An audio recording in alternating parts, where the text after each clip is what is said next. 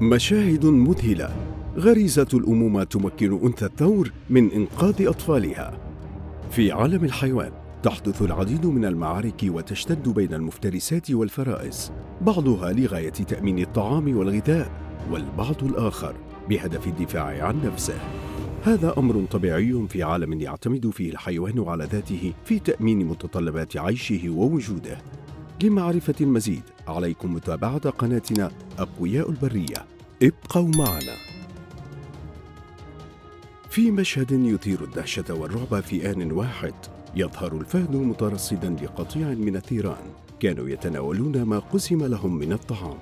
بخطوات بطيئة ومتحسبة لما سيحدث بعدها يراقب الفهد أطفال الثيران المتواجدين في كنف قطيعهم للوهلة الأولى. تبدو هذه المهمة على الفهد صعبة للغاية.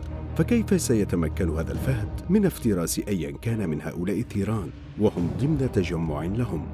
بعد تخطيط وتكتيك محكم وقوي دقت ساعة الصفر ليبدأ الفهد من الاقتراب من ثور صغير ابتعد عن مجموعته لمسافة قريبة وبشكل جنوني وهستيري انقض الفهد مسرعا وأمسك بالثور الصغير محاولا افتراسه.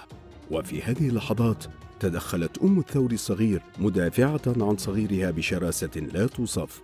هنا في هذا المشهد لعبت غريزة الأمومة دورا لا يستهان به بدأ الفهد يحاول افتراس الثور الصغير وأمه تستنفذ كل قواها لحماية طفلها وصغيرها.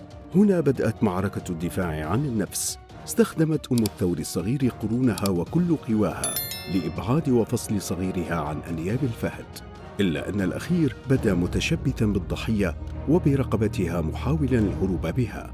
بعد ثوان قليلة انتهت المعركة بانتصار أنثى الثور وتمكنت من إنقاذ صغيرها الذي لا حول له ولا قوة.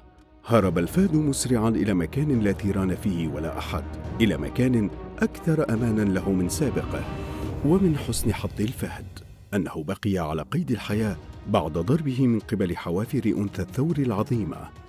انتهى المشهد والثور الصغير في أحضان أمه حيث الأمان والراحة. إلى هنا نكون قد انتهينا من حلقة اليوم. لا تنسوا الإعجاب والمشاركة ليصلكم كل جديد. دمتم بخير.